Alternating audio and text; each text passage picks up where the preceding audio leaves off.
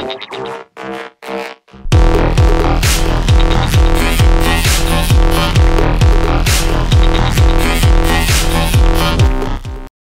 guys, today I'm going to do a video on my Galaxy Note 3. This is Verizon variant. Haven't done anything on this in a while. Figured I'd show you guys a new ROM. So we're going to install Hyperdrive ROM today.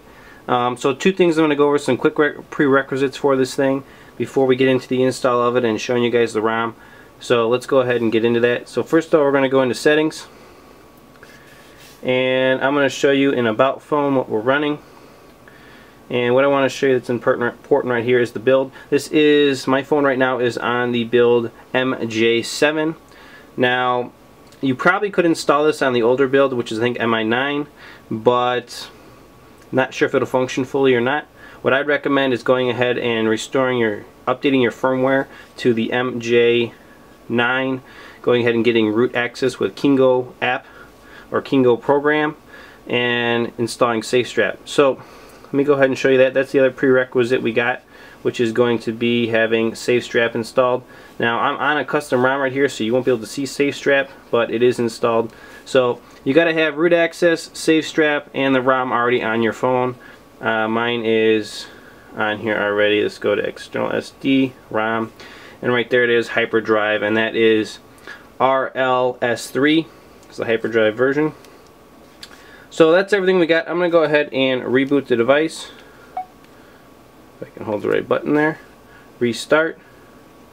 And just a normal restart. Now, this is going to come up with the SafeStrap screen here. And you're going to want to push the menu button to get into recovery. Should be right down here on the bottom. You are going to see this anytime you have SafeStrap or any of that stuff, root access. It's going to come up with this custom logo. It's not a big deal. Don't worry about it. It's really not an issue. It doesn't void your warranty or anything like that. So, recovery. Um, obviously, if you want to do this under warranty, though, you know, you'd want to restore it to the normal firmware and not leave this custom stuff on there. Alright, so that should boot us into recovery. I hit the menu button on the screen. Let's see if we can get SafeStrap Recovery booted up. Here it is. And um, just so I can explain to you what I've got going on on my device right now, I'll go into boot and right now on ROM slot 1 right there I have Beans Build, which is a really cool ROM. That's the ROM you just saw me running. Um, so what I'm actually going to do is I'm going to go ahead and activate another ROM slot. And I'm going to make it pretty good size partitions. You can see I have 17 gigs of free space still. So, you know, you can have multiple ROMs like this if you want. I'm going to go with I'm going to go with 600 megabytes of cache partition size.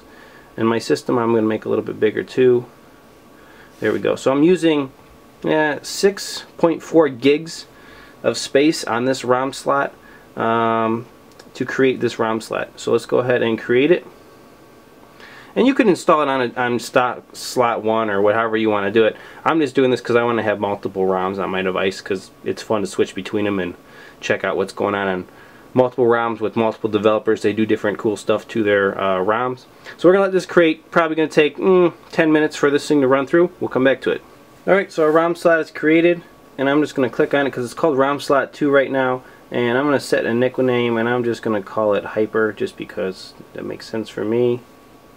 Call it whatever you want, but since I'm installing Hyperdrive, we're just going to call it Hyper.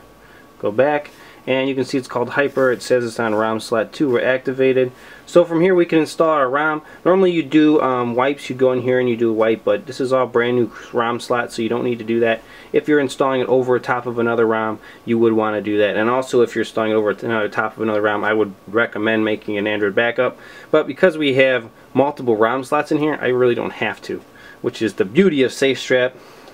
So we're going to go right to installs and we're gonna go to oh no actually actually think I want that other one. Yeah it says here. So ROMs click on the ROM make sure it's listed. Go ahead slide across to install.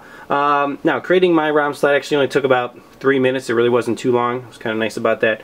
Installing this right here um, shouldn't also take too long. Uh, normally Hyperdrive is installed with what's called Aroma installer but I don't think it functions with SafeStrap so I think it's just gonna run through and do a a base install of the ROM and then we'll be able to boot it up. So let's let this run through and we'll come back to it when it's done flashing this ROM. Okay, the uh, install is finished. You can go ahead and unlock the screen by just swiping across and you can see everything says it's done it does actually give you some information right here which is actually really nice that he actually puts it right on the install screen it says note first boot takes uh, longer than normal basically it could take anywhere from 5 to 10 minutes and then let the phone just sit there for a little while after it first boots and then reboot it and then it should everything should be functioning so we're gonna go ahead and do the first reboot and see what kind of uh, hyperdrive boot animation this thing's got. Obviously you're going to see the custom right there. You're going to see safe strap should be in green. And then from there we're going to see our first boot animation on this device. So again, like I said, first boot, let it boot, then let the phone just sit. Don't even mess with really anything. Go ahead maybe do your setup on it. Um, you know, make sure you got your Google account set up. Then just let this thing sit for about 10 minutes um, and then do a reboot and then after the reboot the thing will be really pretty much set and ready to rock and roll. Okay so ha ha ha.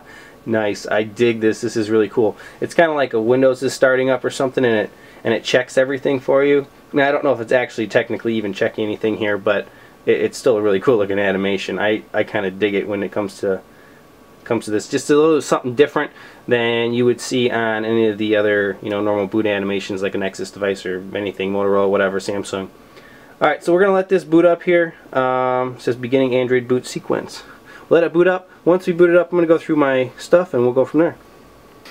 Okay, so that's actually kind of interesting. It didn't actually even have you do the um, normal like setup stuff you do for setting up your Google account and all that. It just instantly went right into this um, a little bit interesting here on how that functions. So um, we're going to go ahead and hit OK and you can just see what's going on in here.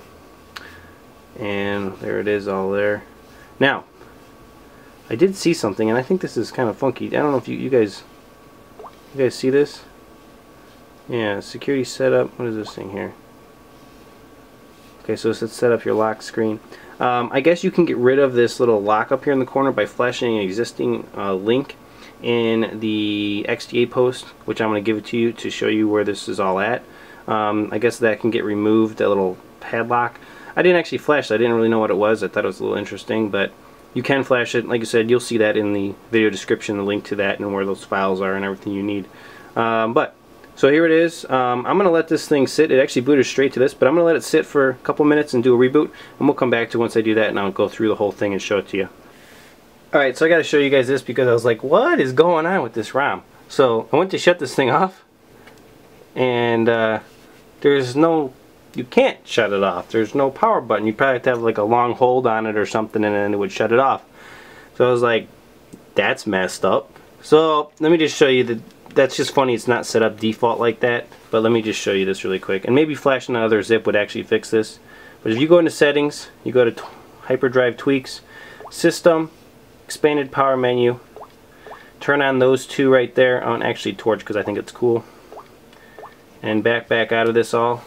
Now if you uh, power it off there you go. You can turn on your torch or you can power off and restart. So just so you guys know where that's at that's how you're gonna get your uh, restarts and everything like that. Alright so we rebooted. That reboot was actually really really quick.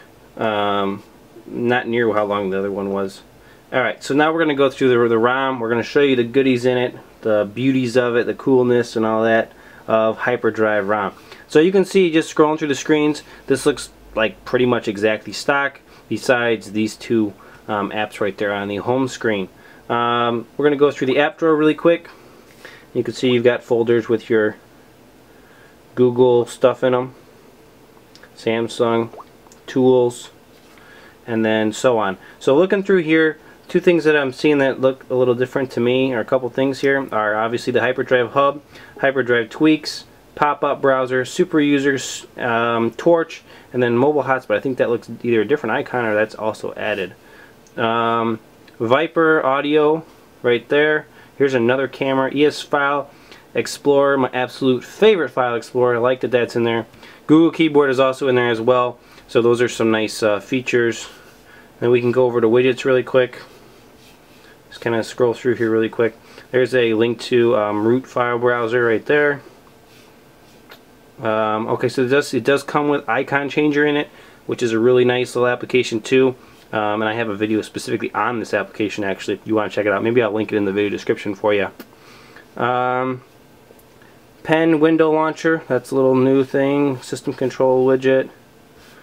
and see what else. Anything else new? Nope, that looks looks pretty uh, pretty good from there. So there you go for your app drawer. Let's go and see what we got up here. Settings, different, nothing too new there. Here we go, same kind of stuff. Um, nothing too different in there, also from stock. So, but to show you these two apps, you can launch them here, or if you go into settings, you can also see them right here, custom. So when it comes to settings, back out really quick, when it comes to settings on all this, you do have call and message blocking right there built in, that's pretty sweet. Obviously here's power save mode, I like to have that on a lot of time. I'll turn off right now though. Um, security, one hand operation, pen. Okay, so the rest of this all looks pretty standard. Again, I'm just going to show you the build we're on. Actually, that's actually cool. I've not seen that in there before where there's actually like something highlighted like that. Um, that's that's pretty cool. I think, let's see, is that a link to something? Yeah, it'll link you to probably his website or something like that. Donation link. These guys do awesome work for our devices when it comes to this donation link. Please, guys, really, seriously, these guys do all kinds of work on this thing. They don't get paid anything for doing it and it just makes these devices awesome. Please, please donate to these guys. This, this, these, these developers are really, really nice and do awesome work on these devices. So right here you go. There's that MJ7 build. You can see that um, 4.3 Jelly Bean, and you know so on. All right.